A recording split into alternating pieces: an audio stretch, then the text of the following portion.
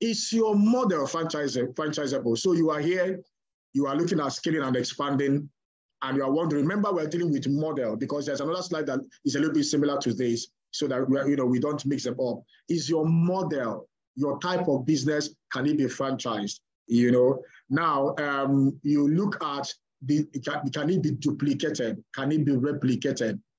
Any business model where you cannot create a system, document things, you know, in a way that another person who is in quote a total novice to running that very business can leverage it and replicate the same success, the same impact, the same example, the same taste and feel, the same experience for the customers as you have always done it.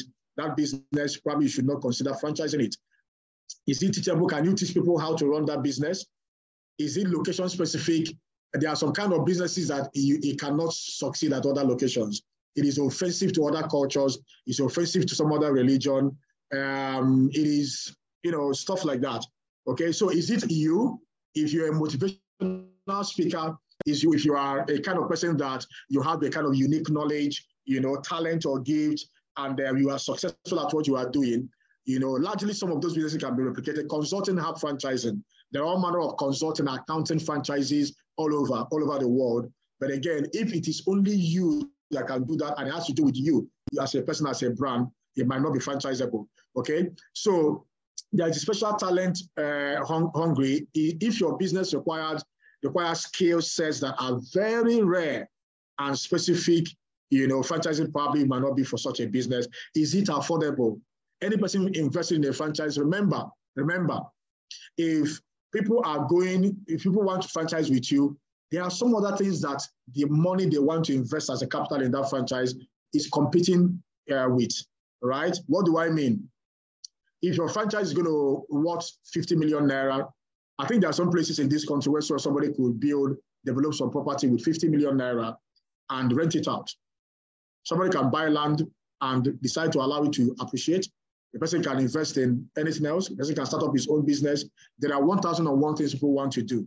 So it has to show them, they have to be able to compare. Right, right. What is the margin of the profit?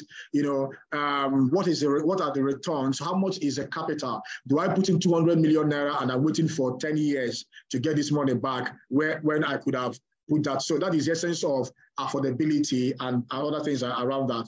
Is it well managed? Is it easy to manage?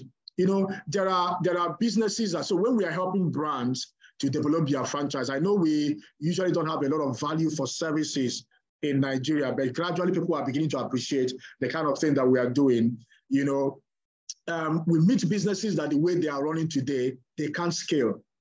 We begin to help them to streamline their processes.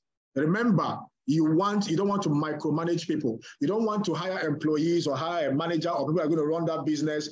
For them to get the process done they have to memorize a lot study a lot. It's too tedious. It's too long you know. Simplify it. Make it scalable. Bring in technology. Automate it so that the ease of running and managing that very business makes it you know easy for people to get a hang of it who are going to be your stakeholders or your team or employees to get a hang of it and be able to commit to the standards that are required